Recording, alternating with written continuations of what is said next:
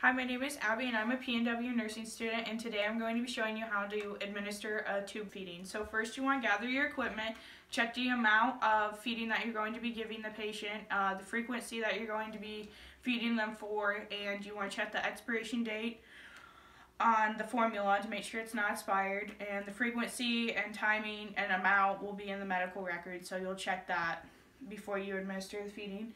Then you want to perform hand hygiene, put on PPE. You want to go in, introduce yourself, um, ID the patient, make sure their name and date of birth matches their bracelet. And then you want to explain the procedure to the patient that and then you want to assemble your equipment on an overbed table or other surface which within reach, which is this.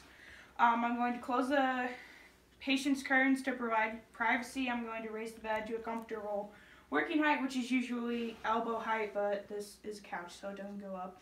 Um, I'm going to perform an abdominal assessment, which you want them laying flat for this. So um, you would only expose the area that you need, which would be the abdomen, of course. And then um, you would inspect to make sure there's no distension or anything like that. Um, then you want to auscultate, then you want to percuss the four quadrants, and then you want to palpate the four quadrants. Um, and then after that, you can cover the patient back up, and then you want them sitting up at a um, 30 to 45 degree angle before you administer the tube feeding. So this is about right.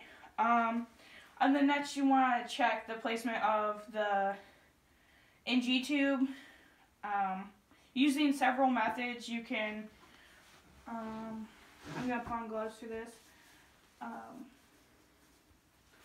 the first method is to measure the exposed tubing um, to make sure that the tube has not um, came out or moved any from its original position. So you'd measure from the tip of their nose all the way down to where you had previously marked it. There should be like a mark already.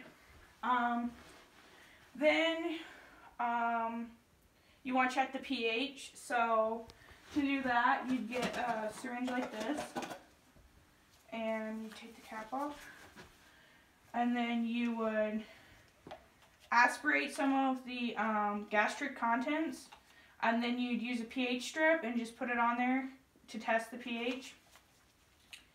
Um, and it should be acidic because the stomach acid is acidic.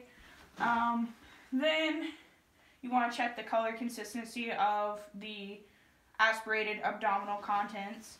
And then if it's not possible to aspirate all the contents, then you need to um, perform an x-ray based on facility policy to make sure that the tube is where it's placed. Like if you can't aspirate contents or like if this has moved, then you need to do an x-ray before um, administering a tube feeding.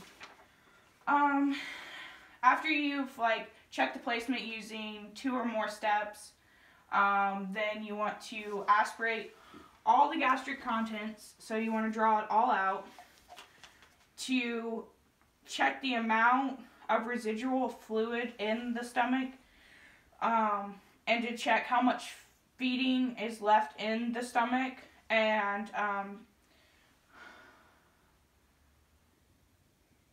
then you want to return it um, based on the facility policy, and then if it did not exceed the residual um, volume, um, then you can continue with the tube feeding. If not, then you would hold it. And then you want to flush the tube with 30 to 50 milliliters of water, so you just kind of let that go in. And then you want to disconnect the syringe and put on the capped end to make sure nothing comes out. And then this is where you'll prepare the formula. You'll remove your gloves. Um, and then I only have one pair of gloves, so obviously I would have removed these gloves. And then we're going to put on more gloves before handling the feeding or anything like that. So these are clean gloves. And then we're getting ready to administer the feeding. So we're going to be using a large syringe system. So you want to remove the plunger to a um,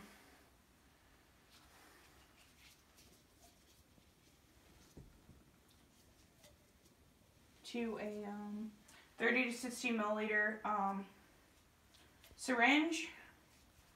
And then um, you want to attach the syringe to the feeding port.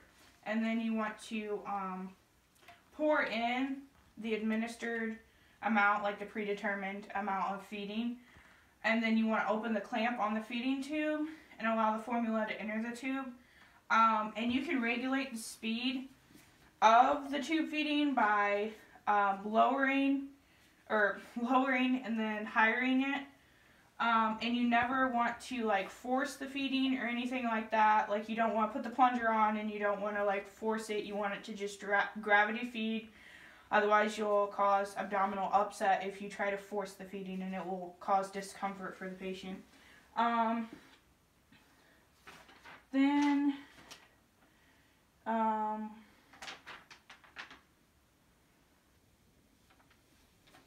When the feeding is almost completed, um, you want to add 30 to 60 milliliters of water to this. Again, letting it gravity feed, not pushing it, um, just to clear out the tube and make sure all the feeding has been delivered. Um, and then when the syringe is emptied, you want to hold the syringe high to make sure that all of it's completely out before detaching the syringe from it. And then after you do that, you want to clamp this off and then detach it. And then um, cover the end with the cap again. And then you should be okay. Um, then, then you want to observe the patient's response to the feeding um, during and after the feeding to assess whether like they're having any discomfort. Um, and then you want to assess their abdomen, again, like we did before, using inspection, um, auscultation, and then percussion and palpation. You want to do that at least once a shift. And then um, you want to have the patient sit up and remain sitting up at that 30 to 45 degree angle for at least an hour after you do administer the feeding. Um, and then you want to remove your equipment and then you'd off obviously uh, returning your patient to um, a position of comfort. Like I said, you would keep them up for an hour after the feeding. Um, you'd raise the side rails and lower the bed. Um, you'd put on gloves and you'd wash the equipment. And then um, you'd remove your gloves. You would um, remove PPE. And there was none indicated in this. And then um, you'd perform hand hygiene, and then that would be it.